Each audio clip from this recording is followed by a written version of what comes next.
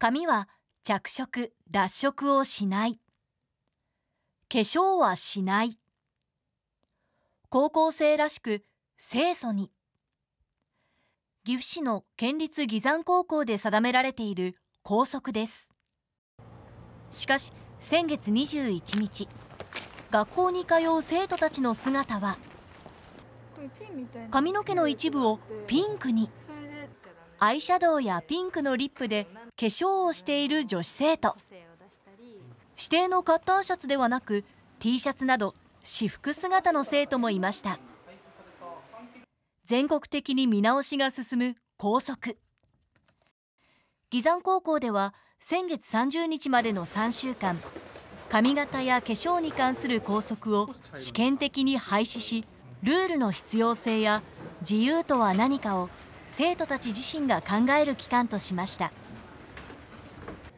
廃止期間を終えた今月3日。生徒たちは校則通りの身なりに戻していました。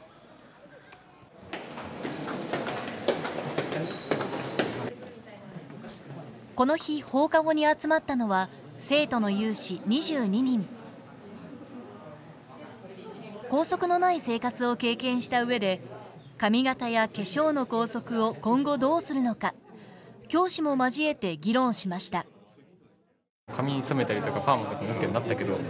別にそれ自由になったからといって別に僕的には何とも思わなかったし弊害もあんまなかったかな。特に色髪の色とか変えとる人っても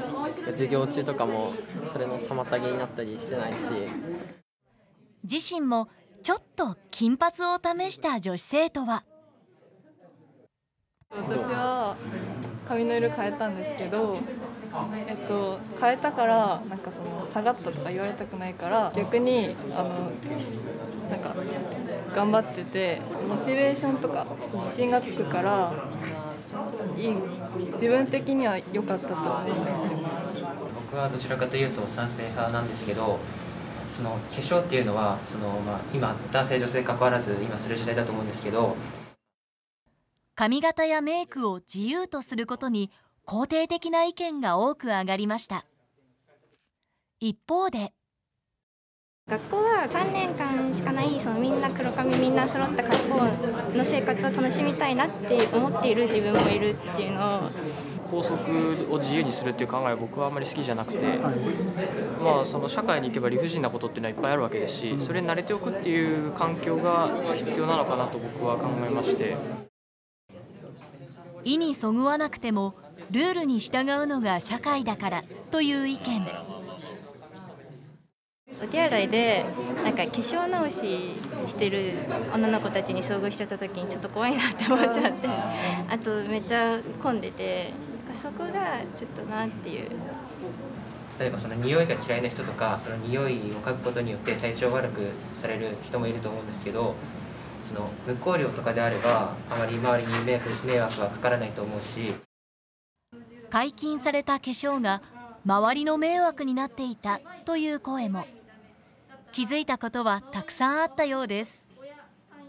自由っていうのは責任も伴うんだっていうことだよね。あるいは自立自分で律するの方ね。自立も伴っている。離山高校生が頭髪 OK だよってしたした時点で勉強がおろそかになるのか。まあ、みんながその勉強をおろそかにして結果が下がるのかそれともまあ下がらないのかそういう指標となるものを使ってもいいのかなというふうに僕は考えました。3週間のお試しでは学生の本文勉強に影響するのかがはっきりしないためもう12ヶ月様子を見たいという意見も出ました。大切なのはあの校則を直すことではなくてそこを通じて君たちがいろんなことを考えてくれること君たちはこれから10年後20年後30年後に生きる社会は僕が生きてきた社会よりももっと早いです。君たちは今絶対に力をつけなければいけないことであることは間違いない。校則の見直しは社会の中で自分で考える力を養うため。1時間ほどで終わった議論の後も生徒たちは校長の周りで活発に話し合っていました。岐山高校では今後も議論を重ね全校生徒へのアンケートや校則廃止期間を延長するかなど校則見直しを検討する方針です。